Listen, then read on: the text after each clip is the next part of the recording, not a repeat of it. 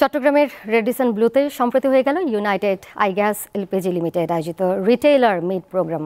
চট্টগ্রামের বিভিন্ন টেরিটরি থেকে আগত রিটেইলারদের নিয়ে দিনব্যাপী এই অনুষ্ঠানে ব্যবসা কেন্দ্রিক আলোচনা, ভবিষ্যৎ দিক নির্দেশনা, মেজবানি খাবার, সংগীত আয়োজন এবং র্যাফেল ড্রয়ের আয়োজন ছিল।